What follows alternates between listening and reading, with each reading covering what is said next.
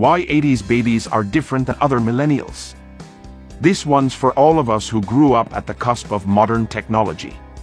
As a child growing up in the 1980s our life was vastly different than from the world we know now.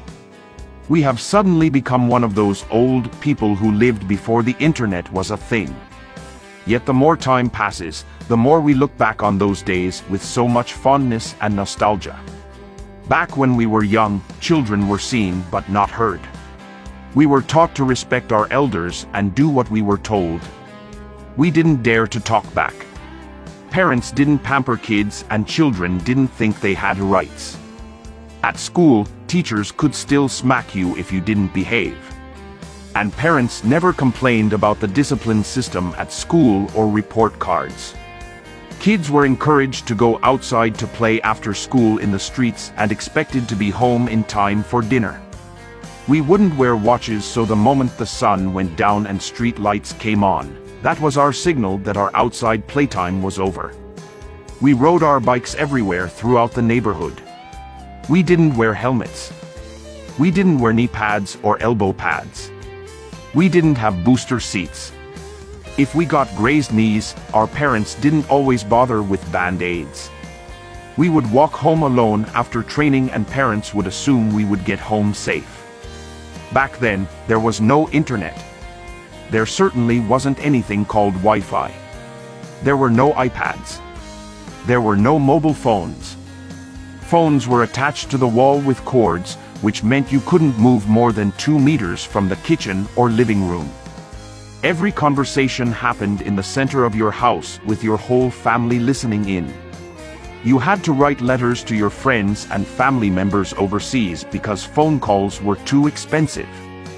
Every teen girl had a pen pal that they confessed their deepest secrets to. We had diaries that we kept hidden under the mattress of our bed. For some reason we all thought that was the best hiding spot in the world when it was obviously not. If you wanted to listen to your music you either turned on the radio or listened to your cassette collection. Our Walkmans were our most prized possessions, though they needed plenty of batteries to keep them running. We would wait all day just to record our favorite song on our blank cassette. There was no social media. You had no idea what your friends were up to on the weekends. You had no idea if you were missing out on something important. We were obsessed with learning new string tricks like the cat's cradle, we used Encyclopedia Britannicas as our go-to reference when doing school reports. At the library, we had to search for books using an old wooden card catalog. Kids were in love with the comic section of the newspaper. We collected other comics like Archie and Betty and Veronica. It was normal to send the kids to go to the shops on their own to pick supplies. Chocolate and lollies were super special treats fast food or takeaway wasn't a done thing.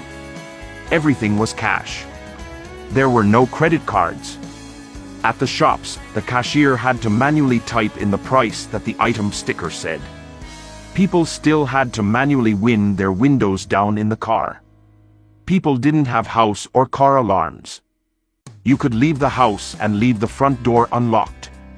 The world all in all still we felt safe. In 80s that less was more. The books were the best. The TV shows were the best. The music was the best. The fashion was crazy and we didn't care how bad we looked. To the contrary, we thought it was the coolest thing in the world. And the best things in life are truly free. Yes, the 80s were a goldmine of wonder and undoubtedly the best decade for a child to grow up in. Ever.